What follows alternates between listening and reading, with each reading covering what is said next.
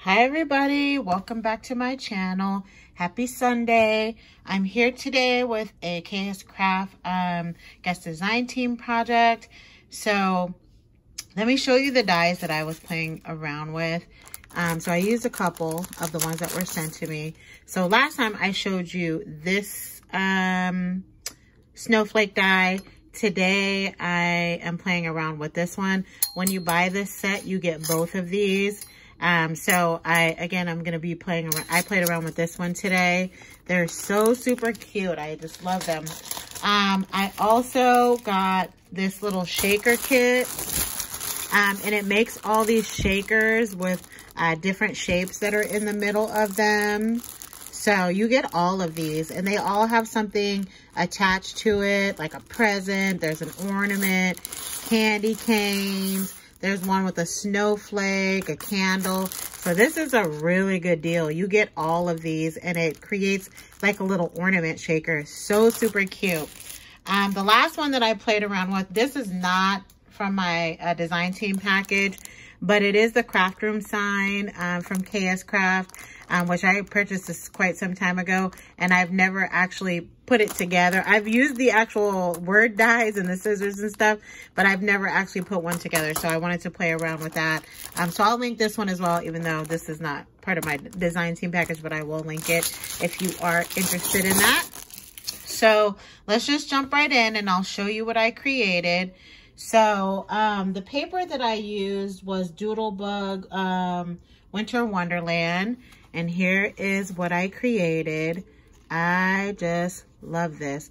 I love this die. It's really cute. So I did go ahead and layer two of them. One, I just used some purple cardstock. This one is from the collection. So I made, you can make them as long as you want. Let me show you.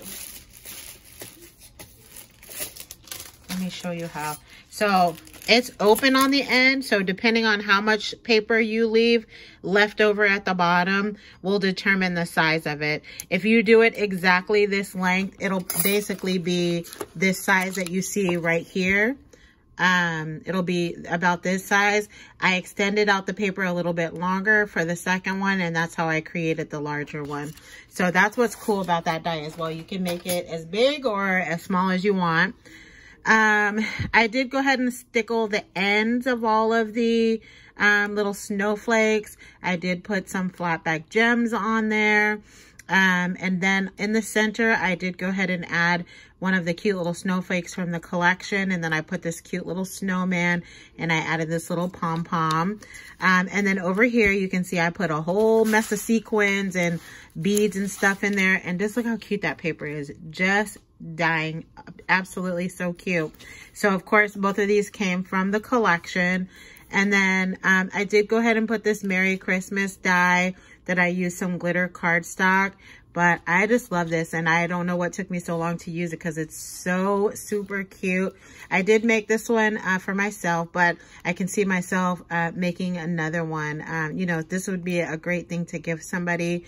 And you don't necessarily, it the, the dies that come with it is craft room, but you can put whatever sentiment you want and, you know, use it for, you know, a different holiday, make it a birthday kind of shaker. You can do it all, there's tons of options you can do. But I absolutely love how this came out. So super cute. And I am loving these snowflake dies. I don't know what... I, I know there was one years ago, but I haven't seen a newer style one in such a long time. So I'm so glad that they came out with this. Very, very cute. And there's a little handle that you can, you know, you could actually hang it on a door or you can just hang it up in your room or whatever. But love it. So super cute. Then I decided to um, go ahead and do a Rolodex. Love this. So cute. So I used the same paper line. And of course I did put it on a, on a Rolodex card, which I'll show you the back. So I backed it with just regular cardstock. Um, and then of course you see um, the little snowflake die in the back. So super cute. This is one of those ornaments. So I did go ahead and create a little shaker um, with the ornament as well. Um, so I just put some fun, this is kind of a mix that I made up to kind of match the, match the collection. And I did put a little bit of seed beads in there. Um, I did go ahead and also add um, one of those, what are those things called? Doodle Pops on the top. Um, it's a cute little reindeer, which I love. And then I added a cute little bow at the top and I did go ahead and um, put another one. This was on the same doodle pop as that, and I just put that in the center of the bow. Now, normally, this particular snowflake goes in the center of this ornament, which you can see that's the ornament that's in the silver right there.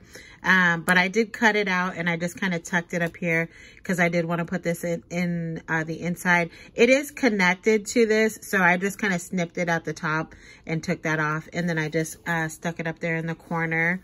Um, and then I did go ahead and put some uh, random gems uh, kind of like I did on the first one. Then I took a bit of stickles and just went around the edges and I just love it. And I love this, uh, this silver. It looks really good with this ornament. Very, very pretty. And then once you put your cute little sequins in there, how adorable. I'm just loving this. So those are the two projects that I created. And again, guys, I will go ahead and um, link this information in the description box if you are interested in any of these uh, products that I've used today. Um, so of course, as always, if you have any questions, please don't forget to leave it in the comment section. And everything that, I, that we talked about will be in the description box. And don't forget to follow me on Instagram. That will also be linked into the description box. So you guys have a great day and have a great week coming up. And I'll talk to you guys all very soon. Um, if I have time, I might, I did receive my slot from Anna. So if I have time, I'll go ahead and do that video as well. So you guys have a good one. Bye.